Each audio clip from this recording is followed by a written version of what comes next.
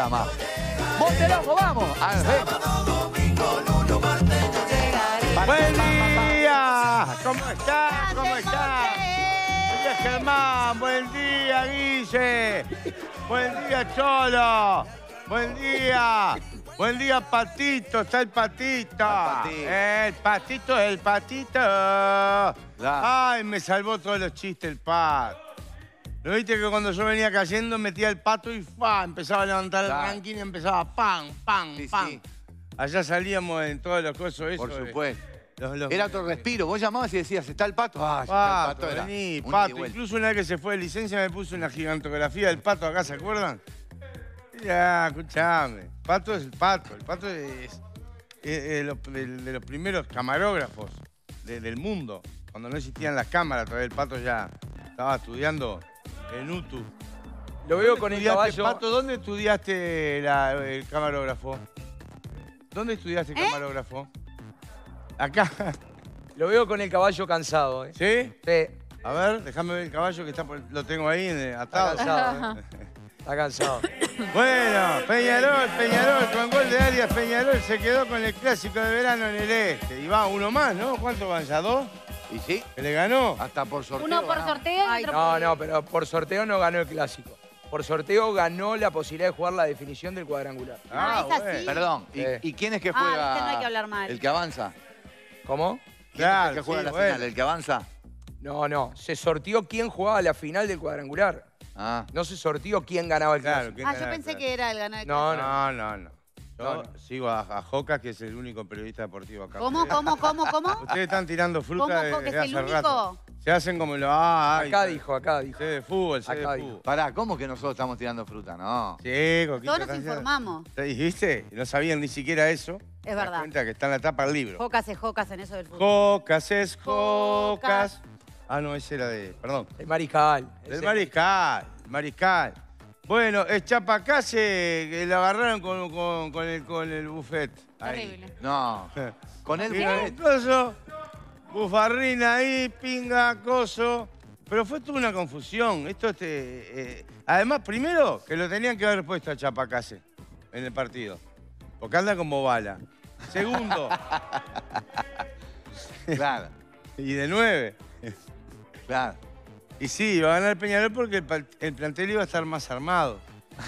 Y este es Pablito. Bi- bi- By, Claro. by Pablo Petresan. Hay que poner una silla para, ¿Eh? pa- para Pablito acá, ¿eh? Pablito, eh, Hay que poner una silla si acá. pasa por Agadu, ¿sabes cómo se la lleva, Pablito? Escúchame, después hubo otra confusión también que fue lo ¿Cuál? que declaró él. Que qué pasa, el médico le dijo, porque él viene de una lesión, Sí, se está le dijo agarrá palo fierro, agarrá palo fierro, No. Bien loco. Y la otra que se confundió también es que no sabía cómo ir y le preguntó a uno, che, ¿cómo hago para ir a Maldonado? Agarrá la 9, le dijeron. bueno, Es excelente. Es excelente. no es mío, lo robé. No, no. Lo robé, es- los que son buenos. Claro. los robo. Les puedo asegurar una cosa. Uruguay, hoy lo digo, anoten, ¿eh? Uruguay va al Mundial. ¡Bravo,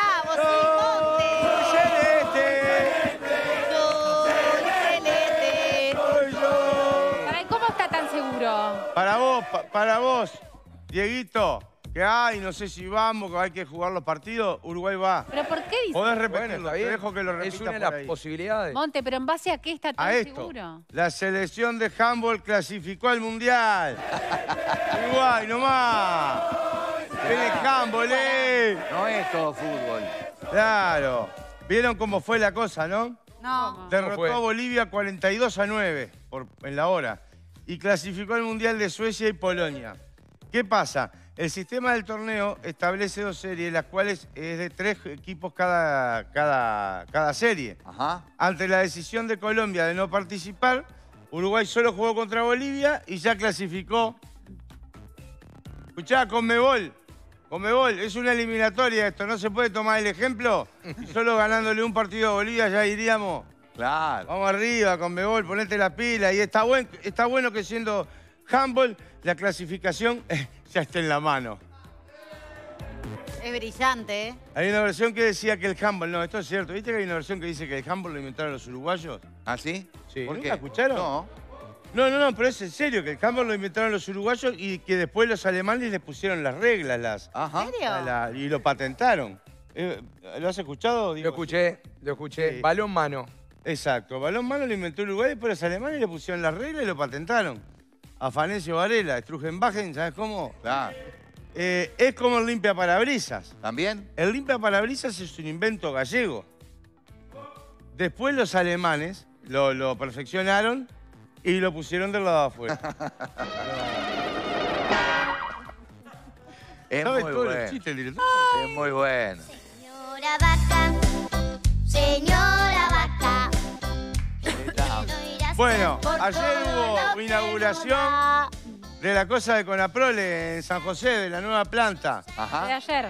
¿Eh? Antes, Antes de de ayer. De la ¿Sigue, cosa. sigue currando con eso? Y bueno. Ya fue hace dos Y lo que días. pasa que... ¿Otra vez? Pensé que volvíamos a la que- columna de ayer. Esa, no, lo que pasa es que esa vaca No, sigue dando leche, fue ¿no? una re, re inauguración. Ustedes no entienden nada. Ah, No es así. No se le habrá mezclado los diarios de ayer, ¿no? No, No, Diego, el ah, asunto perfecto. es que los trabajadores fueron con carteles, pa, pa, pa, pa, Sí. pa, pa, y Graciela Bianchi, que eso no lo había dicho, Ah. cargó contra el sindicato lácteo. No, ¿En serio? En serio. En ¿sabe qué Twitter, no me diga. En Twitter. No puede ser. ¿Saben qué dijo? ¿Qué? Dan pena. No. Dieron pena. No. Así le encajó. Die- Perdón. ¿Perdón? Soy una senadora de la República. Dieron pena. Solo manejan consignas, no ideas. Dieron pena, mucha pena, escribió la parlamentaria. Lo que me gusta de Graciela es que ella nunca está eso, viste, ahondando la grieta ni nada. Siempre aportando, siempre como lo hizo conciliador, tendiendo Claro. puentes. Eh, hay que valorárselo eso, porque hay gente que no lo tiene. Ojo, algunos de los carteles de los trabajadores tampoco eran una mano extendida, que digamos. Bueno, es que veo que el presidente se detuvo a hablar, estuvieron conversando en un muy buen término. ¿Ah, sí? Y en un momento la Ahí cosa en que el final. levan- levanta la vista sobre el final de la charla y ve que lee que en el cartel decía hipócrita. Entonces lo mira y le dice, bueno, hipócrita no, porque si no yo no estuviera acá hablando con usted. Claro. Eh, ahí, ahí fue un poquito momento de Ah. Y en el otro, ¿no viste? En el otro cartel decía mentiroso, en de patria, en el otro decía, este, tenés, sacate la peluca, muchas cosas. Si no- pero ¿por qué no tiene peluca? No, ya sé, pero para hacerle, justamente. para Hacerlo pelear. calentar. Claro, para hacerlo calentar, le decían petizo compadrito, para hacerlo calentar, todo eso. Petizo, petizo compadrito esta, digo, esta inauguración Ah. que estamos haciendo. Bueno, exportaciones industriales uruguayas ¿Qué? En alta. aumentaron ¡Bravo! 41% ¡Bravo! En 2021. Baja la nafta. 41% Y para vos. Cholo, que No. estabas criticando, para ustedes, comunistas. 41% subió la, las exportaciones. Esto seguro va a bajar la nafta, algo va a pasar. Eh, según el informe emitido este miércoles por la Cámara de Industrias, en el 2021 las exportaciones uruguayas aumentaron un 41% respecto al 2020. Con respecto al 2019, el aumento fue del 25%. Ah, no. ¿Está? Para vos te lo digo, que vi protestando, ay, que no exportamos Claro. nada, que todo, que pim pam pum. A vos te lo digo. 25 y 41%. ¿Qué diría, ¿Qué diría la economista Laura Raffo de esto? Realmente es maravilloso que podamos seguir aumentando. Porque en la época del Frente Amplio no aumentaba nada. En realidad lo único que había era olvido, olvido y había una economía olvidada. Es una cosa, este monte. Uno de los principales productos de exportación parece que fue la soja, Ay, no te lo puedo que creer. hizo importaciones por mucho dinero, solo superado por la cocaína. Solo, No, no, no, por Dios. solo, solo, solo, solo, solo. Insólito.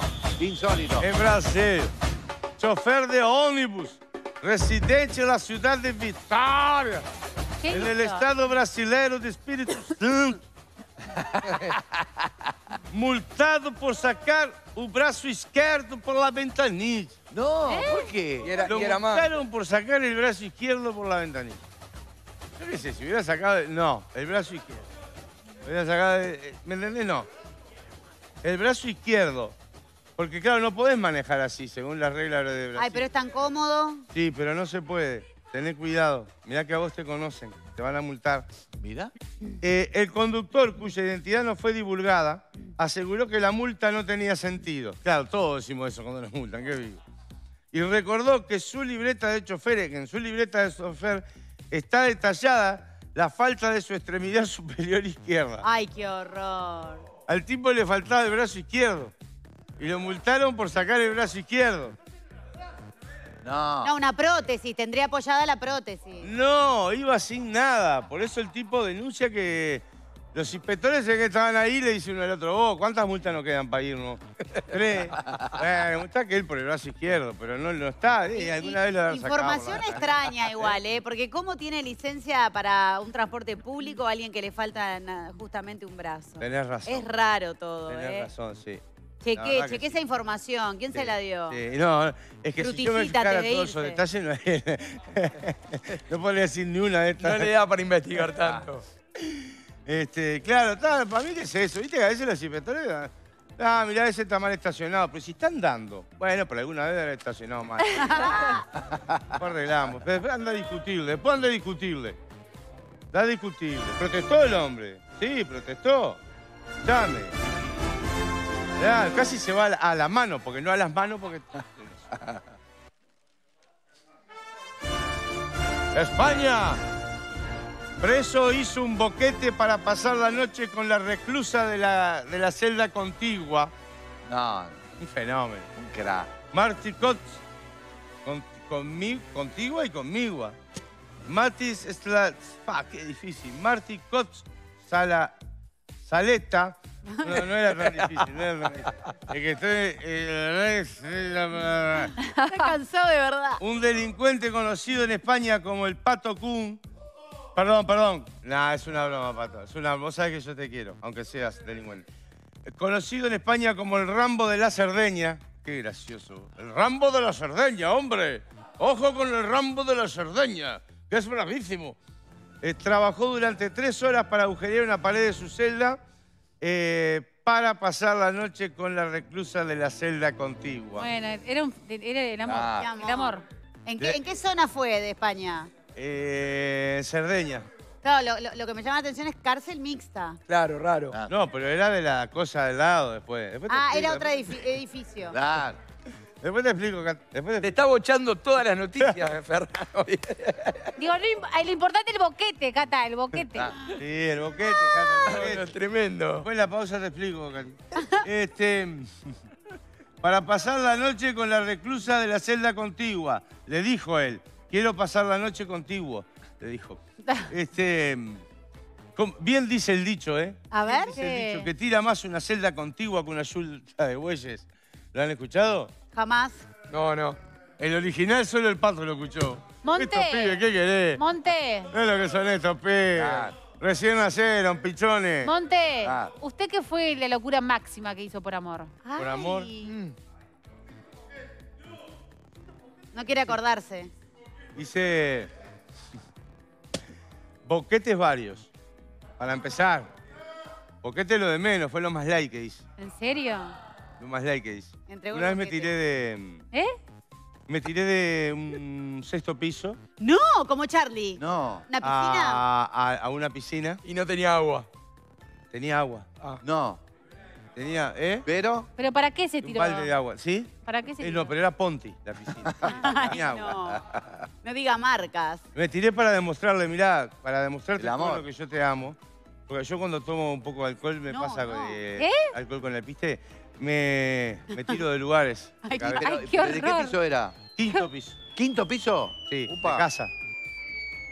¿En piso casa, de- quinto piso? Quinto piso de casa. Y, y bueno, ¿cómo, ¿cómo terminó la cosa? No, no me dio bola, me hizo tarado, no, tar- con tarado no me engancho. sí, eh, está bien. Claro, hay que tener cuidado con las demostraciones de amor porque puede salir muy mal. Ah, hice un boquete. Es que, es que, claro, el tipo, ¿qué pasa? No había otra persona, no, no había otra forma para encontrarse. ¿Me entendés? Porque en la cárcel no podés invitarla a salir. Justo eso no podés. Claro. No, no podés, no podés. Bueno, señoras y señores, poneme ahí que me voy. Que mañana estamos en el teatro de verano. Cara que chiquerequín, cara que chiquerequín. Rómpala, Monte. Somos barrio sur. Somos 1080. Somos la comparsa. Todas las comparsas, un saludo para todas las comparsas de carnaval y una exhortación a todo el público. Miren las comparsas. Hay gente que no las mira porque tiene un concepto de hace años que dice, no, la comparsa... Y las comparsas son los mejores espectáculos de ¡Bravo, carnaval de colores, señores. Con artistas impresionantes como Hugo Fatoruso en el caso de, de pero artistas en todos. Alejandro Luzardo en integración, este, músicos impresionantes. eh, un espectáculo así, maravilloso. Así que si pueden, mañana en el Teatro Verano a primera hora, Cuarén, y después vayan a ver a todas las comparsas. Vamos a seguir poniendo música de candombe todas las mañanas acá por un rato. Vamos arriba, gracias. Impecable. Así pasaba la noticia de Montelongo y saluda.